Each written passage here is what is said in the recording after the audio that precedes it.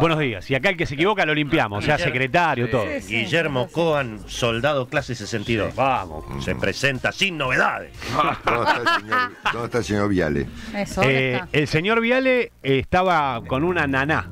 Estaba con Ah, una- bueno, claro, ¿Cómo? sí, sí. Sí, sí. ¿Qué pasó ahí? Le deseamos que se recupere pronto. Eso. Le mandamos un beso. Oh, qué sorpresa. No sé si, si estoy autorizado, porque tampoco tengo tantos detalles, pero no quiero andar contando cuestiones escatológicas. Así que le mandamos un beso y una pronta recuperación. Estamos con un móvil en la casa de Johnny. está. Ah, mira. Bueno, Bueno. ¿usted cómo está, Marcelo? Lo vi en un Muy momento, lo escuché, en un momento de furia hace un ratito. No, ninguna furia. No, qué furia. No. vehemencia, vehemencia. Un comentario vehemente. Sí. Iracundo.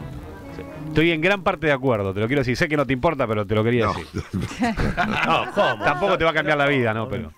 No. Marcelo. No, me llama la atención, este, por ejemplo, te- tema número uno, ¿no? Este, eh, el presidente desafió a la señora Kirchner, Sí. eh, a obviamente a través del tuit, ¿no? Hoy es más relevante el tuit o el ex que la ley, que los Sí, decretos. Marcelo, se habla ahora, viste que se habla del algoritmo de Irigoyen. Sí, sí. Ya no se habla del diario de Irigoyen, se habla del buena. algoritmo de Acá- Irigoyen. Acá tengo la frase, ¿no? Cuando el presidente dijo que eh, desafió a la señora Kirchner y le dijo, quiere que le corte la, que jubilación. le corte la jubilación. Bueno, que lo haga hoy. Y sí. Sí. Es más, lo puedo hacer ya, son las 10. ¿no? Sí, después el juicio al Estado lo va, a, lo va a agarpar él. Cadorna, claro. sí. Bueno, ok. Este, imagino que habrá argumentos. Eh, Si el presidente sugirió eso públicamente, debe estar informado respecto de que es posible, siendo que eh, ante la ante la, el papelón, digamos, de que la señora Tolosa Paz ¿eh? lo corre a Moisés. ¿eh? Este, y a las fuerzas del cielo, me imagino que habrá argumentos que el presidente haya reaccionado de ese modo, o, o que es una reacción intempestiva del presidente. Es raro lo que pasó el fin de semana, ¿no? Es No es raro. nada raro, es un papelón, Lucas. Sí, sí, un Y poco la sí. narrativa, cuando la narrativa, Es una- eh, cuando lo único que hay es narrativa, y bueno, entonces se caen Fi- todos Finalmente. ¿sabes qué? Eh, la casta en su conjunto está discutiendo cuánto gana. Adelante de los argentinos. ¿eh? Sí. En eso tenés 100% razón. Sí. Por supuesto. Sí, sí, ¿entendés? sí. Viste que hace un ratito Milei echó al secretario de Trabajo por esto. Sí, claro. Que entiendo que no tiene nada que ver, pobre, porque esto era un decreto Por- previo. O sea, lo importa. limpiaron, pobrecito. Escuchame, Afuera, escuchame, lo fletaron a Giordano, que era Había el una- mejor funcionario de este gobierno. ¿eh? Eh, Había una, una escena de aquel este reality eh, del señor Trump. ¿Te acordás que echaba que gente? decía, you are fired. Y, y lo divertido del asunto era, lo entretenido era cómo los echaba, ¿no? Bueno, esto es lo mismo. ¿no? Sí. Están jugando, Lucas. O sea, es que yo pensé, eh, casi lo tuiteo, menos mal que no lo hice, pensé que se había enterado Yacín por la tele, porque todo indicaba que, que el tipo no se había enterado. Pregunté hace un ratito en el gobierno y me dijeron que le habían avisado hace unas horas que ya sabía ayer. Porque también te tengo que decir algo que es verdad. Eh, Pregunté a funcionario del gobierno, porque no lo nombró Milei. Dijo, voy a echar al secretario de Trabajo si era él, y nadie sabía nada. Después, otros más cercanos a Milei sabían, pero es medio raro, o sea, todavía no está el reemplazo, es el secretario de Trabajo. Es todo medio raro la dinámica de cómo se hizo, sobre todo porque no tiene nada que ver el secretario de Trabajo con todo esto. Y hay que ver qué pasa jugando- ahora, ¿no? Estamos jugando a Trump. ¿eh? Eh, sí. ¿Y qué tenía que ver Osvaldo Giordano No, bueno, claro. con el con el manejo de ANSES? y Resultó que resultó que fue el funcionario más impecable del gobierno. Sí. Y lo fletaron. Hay, hay mucha molestia. Obviamente hablar de estos temas es una porquería porque son, son cuestiones del poder, pero hay mucha molestia en, en varios funcionarios y varios ministros porque con al volver para atrás la, in- la medida, Tienen que devolver la eh, guita. tienen que volver la guita y un ministro va a ganar menos que un asesor del gobierno. Entonces va a haber asesores que ganen dos, tres palos y un ministro va a ganar Bueno, dos palos. que Es un los- montón de que plata. saquen a los asesores, Eh, ¿para qué bueno, quieren asesores? eh, bueno, ¿No sí. están preparados para gobernar? Sí, sí. Bueno, a ver, acá está la frase. ¿Qué le parece si le anulo los 14 millones que cobra de jubilación? Bueno, anúleselo. Claro. La gente lo va a aplaudir por la calle. interesante la respuesta de la señora de Kirchner. Sí, sí. Le dijo, Fue- ahí, ¿cuál fue? A ver. Descanse, presidente, duerma, que Sí, hay que bueno. dormir, le dijo. Sí, Hay que Cri- do- Cristina eso- descansa, Hay ¿verdad? que dormir, le dijo. Eh. Es que es Bueno. muy difícil ser presidente. Yo tampoco sé técnicamente cómo hace mi ley si con un decreto puede modificar las pensiones no contributivas y las Entonces jubilaciones. que no diga semejante cosa, Es- ¿entendés? Agarrame que lo mato. No, claro, claro. Vos decís fue un agarrame que lo mato. Sí, claro. Agarrame que lo mato, claro. Agárrame, agárrame, ¿entendés? Acá bueno, es, lo que decidieron Epa, epa, epa. los argentinos. Ahí está. Bueno, Otro, quién apareció. Creo- Otro, mirá. Otro más. Es lo que la Ah. gente quiso votar. bueno, hubieran votado bien en 2019, nos No, eh, usted- todo presidente esto. Macri, es, sí. Eh, usted, presidente, es este, inocente de este estado de cosas. Sí, yo no tengo nada que ver. Sí, si Yo- hubiera la, gente votó esto, que se haga cargo. yo- Y bueno, es que no, no lo pudimos, Sí. no lo pudimos votar a usted porque usted no se presentó. Y bueno, yo ahí pensé que, bueno, entre el pelado y Patricia iban a confluir, pero, Pero al no. final no. No. Se pelearon, se mataron y de- derivamos en que tenemos que bancar al loquito. ¿Cómo es loquito? Ah, ¿Qué vamos a hacer? Pero Patricia, que fue candidata a su espacio, ahora es íntima. Son besties. No, bueno, No la conozco. ella, ella tiene sus, sus ideas y espero que la lleve adelante. Está en una tarea titánica Sí, sí, que sí. se vio interrumpida en 2019. ¿Por qué? Porque había que votar al profe de las filminas. Cuando usted habla con Al él, profe de la sí. que paseaba a usted- Dylan y que era moderado usted- que dialogaba. Bueno, cuando usted, ahora a comerla. Presidente, Ya está. buen día, buen día, presidente. Buen día. Dígame una cosa, usted Sí. cuando se habla con el presidente y cuando habla No, con los yo no hablo. funcionarios, Yo no, no, no hablo más. Bueno, el presidente, dice que, sí- el presidente dice que sí, que hablan todo Bueno, el tiempo. él dice que habla con Conan también. Bueno, es- sí, vamos a hacer. ¿Cómo está la- Bueno, eso yo lo comprendo el presidente, Sí. yo lo comprendo el presidente Se porque yo hablo, todo, todo. yo Sí. también hablo con una, yo también hablo con algo. Con una entidad. Con- Sí. sí. Con un amigo invisible. Chicos, graben No. que se viene, se viene un título para los portales. eh. Y Willy sabe, Willy y Romy saben esta historia. Sí, por supuesto. y, y por supuesto, yo no tengo autoridad para criticar al presidente porque yo también tengo diálogos. Mm. sí, sí, sí. ¿Vos mantenés diálogos con seres no humanos, Marcelo? ¿eh? Con, un- Con objetos inanimados. con objetos inanimados. Sí. sí. ¿Ya hablaste con la reta? ¿Cuándo? Qué malo que es, Mauricio. No, no hablé con la reta, no, no, ¿Qué pasa con Horacio? Sí. no, no hablé con la reta. Pobre Horacio. Si lo hago, le aviso, señor presidente, pero. No, yo hablo con un eh, muñequito Ay, Dios mío. Que me regaló, que me regaló Willy.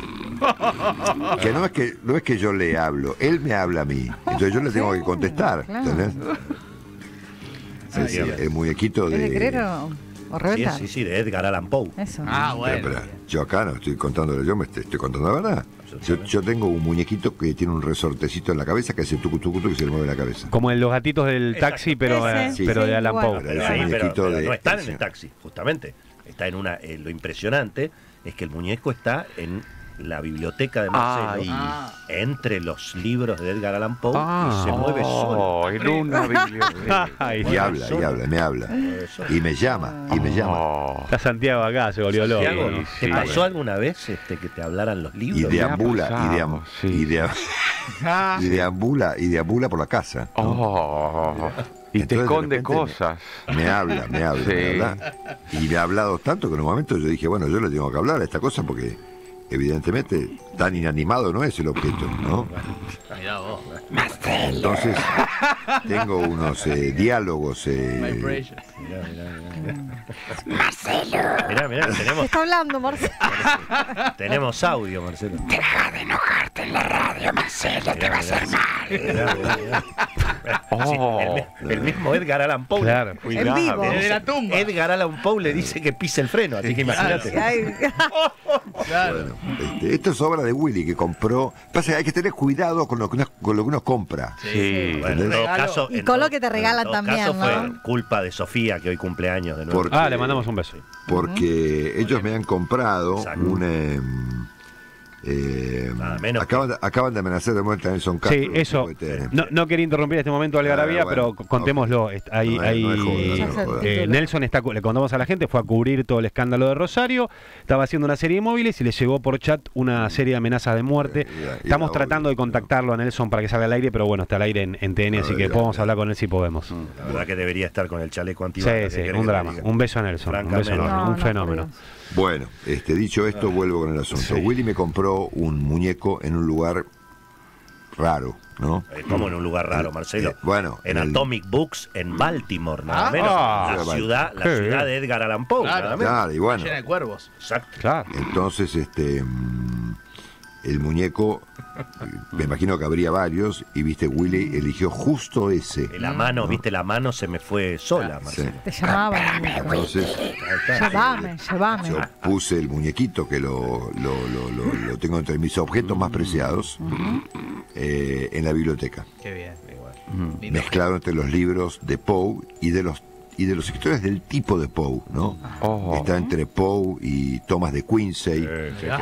entre Thomas de Quincy y em, y este y Borges. Mirá. ¿eh? Lo tendrías que haber mezclado con una condorito. Y Marcelo, ¿cómo se Kafka, ¿eh? cómo se produce el diálogo con el muñequito? ¿Él empieza o Él empezás vos? Ah, él empieza. Opa. Él empieza. Es más, te digo más, Lucas. Me ha despertado en el medio de la Ah. noche. No. Me hace tucu tucu tucu en el hombro No. Qué miedo. y me Yo me- recita yo me muero, y me recita el cuervo. Ah, No. Terrible. Yo me acostumbré, al principio saltaba la cama, Uy, uy, uy. ahora me acostumbré. Sí, porque en el fondo es inofensivo, Marcelo. Claro. Qué sé yo. Igual te la A regalo. las 3 de la Sí, sí, mañana. Claro, pasa, no, un te muñeco. Come, te come el cerebro, no, no, no. no, Mm. básicamente. sí. ¿Vos esto, Marcelo, lo hablaste con algún profesional o lo estás contando al aire por primera vez? No, algo he contado, digamos. Ah. este, lo hemos mostrado al muñequito eh, en la radio anterior, a la que no, no creo que pueda volver. ¿no? bueno, El muñe- Tráelo mañana. El muñequito, sí, Marcelo. Lo sí, sí, lo he- Con el muñeco. llevado. Con el muñeco Es está más, todo bien. es más, Marcelo. he logrado capturar una imagen, Era un otro video con el muñeco, teléfono, este, con el muñequito moviéndose la cabeza. Lo, lo he- lo he- lo he- lo he Ay, mostrado en la radio. Una en- vez, al filo de una lúgubre medianoche, mientras débil y cansado, en tristes reflexiones embebido, inclinado sobre un viejo y raro libro de olvidada ciencia, cabeceando, casi dormido, oyóse de súbito un leve golpe Qué bien lee. como si suavemente tocaran, tocaran la puerta de mi cuarto. Ah. Terrible. Eso me pasa, exacto. Así escribía. Así Es más, vos sabés que hay un libro de Poe, un, libro, no, perdón, un cuento, él era un cuentista, ¿no es cierto? Que no se llamaba Poe, ni, ni- ni Edgar, ni Alan, ni nada, ¿no es cierto? Y era un gran periodista, ¿no? Y en su condición de periodista, escribió un cuento anticipatorio de algo que viene ocurriendo en Argentina hace mucho tiempo. Y si me permitís, te lo voy a resumir. Apa. Se llama El sistema del doctor Tar Ah, ya. y el profesor Feder. Un médico francés anda por la campiña francesa en un caballo con otro médico. Y le dice, lo invito, doctor, a visitar un manicomio. Donde ocurre un experimento Ay, terrible. extraordinario. Ya tengo la piel de gallina, Marcelo. Exactamente. Y, se y van al manicomio, efectivamente, un hospicio ¿eh? en la campiña francesa. Y se encuentran con el modo de gobierno que tenía el manicomio. Ah, Los locos habían encerrado a los médicos. No. Sí, señor. Así es. Y gobernaban los eh, locos y obedecían los médicos. Es como el cuento del emperador chino que contás siempre. No sabían cuáles eran los médicos y cuáles eran los locos, ¿no? Claro. Bueno, hay una sátira, hay una sátira de Mel Brooks en la película Miedo a las alturas. Mira. Tiene alguna Esa cosa. vuelta de esto. digamos, ¿no? Sí, señor. Hay, hay una música, el gran Edgar Allan Poe, Claro. perdón, el gran este, Alan Parsons, le compuso una música a esa obra, ¿eh? que no la tengo a mano acá para ponérselas, pero, pero la tengo en el teléfono, a ver, espera un toque. Este, una música espectacular, ¿no? Lo, que, lo interesante que el loquero funcionaba fenómeno. No, sí, un éxito, Esto era ¿no? Sí, sí, pues los médicos estaban tranquilitos. claro. No, no, los médicos estaban encerrados. Por eso, encerrados, tranquilitos. Sí, sí, sí, sí, sí, sí. Gobernaban los locos. ¿Cómo se llama el tema, Marcelo, si lo buscamos acá? ¿Te Eh, acordás? Se llama... Alan Parsons. eh, ¿Cómo era? Loco un poco, nada. No no sé. no, no. Bueno, ya lo voy a encontrar. Este, en este momento no lo encuentro, pero ya te lo voy a Pero ¿y decir. tiene final feliz el cuento? Claro. No, no, no es una, una, una escena, digamos. eh, una escena que acá la debo tener en la computadora, si me permiten un segundo. A ver. Ahora, Marcelo, mientras lo buscas, yo me quedé pensando en el muñequito de Edgar Allan. Eh, ¿cómo, cómo es la relación más allá del diálogo? ¿Vos lo alimentás? ¿Le lees? ¿Cómo no? Pero- No. ese muñeco pitiado. loco el Es como los sequecos, ¿viste? Los sequecos. que te Claro, por eso, Sí. por eso. Opio quería. No, dólares, No hay todo lo que plata. quiera. que- eh, dólares. Me gusta todo lo verde. Los dólares perdedor. acá. Lechuga Eh, también. Perdedor el dólar. No. Este, mm, no, no come. No come. No, no, no. No, no. No necesita. ¿Y de qué se nutre, Marcelo? ¿De No tu necesita. temor? De la ¿De tu algarabía? La mente No sé, yo creo que se, eh, se nutre espiritualmente de mi biblioteca. Ah. Exactamente. O sea, lee sin abrir los libros, digamos. Sí, sí, se nutre. Como tanta gente. Como tanta gente, exactamente. Como Lee los buenos solapa, como los grandes periodistas de este país. Lee la solapa, lee la solapa. Leen sin abrir un libro. Muy bien, Maxi. Estamos acá, Maxi Lenial. Sí. ¿Me dan un segundo? Sí, Sí, claro, por Marcelo, supuesto. Marcelo, pero Digan escuchame. algo mientras yo busco, digan algo Bueno, Si inteligente. está. Bueno. Vamos, a repasar. Ahora en un ratito vamos a. difícil. Vamos a hablar con, si podemos, con el señor Nelson Castro. Le mandamos un beso. Ajá. Ah, ahí está la canción, Marcelo. ¿Escuchas esta? A ver. Sí, señor. Muy bien. Qué grande Gaby, muy bien. eh. Ah, Vamos, Gaby. eh. sí, señor. Entonces, esa obra, esta obra, este, bueno, es un poco la historia eh, de los últimos años de Argentina, ¿no? Este, ¿o no? Pero definitivamente, Marcelo. Sí. A propósito de los últimos años de la Argentina y del momento actual, cuando vos quieras, en esta discusión que hay sobre el ajuste económico y lo que le está pasando a la gente, la clase media, por qué baja el dólar, Mm. todo lo que está pasando, hace más o menos 30 años, Marcelo, hace 30 años el gran Tato Bores 30. explicó, Hmm. explicó justamente el modelo del ajuste económico Mirá. tal como rige hoy.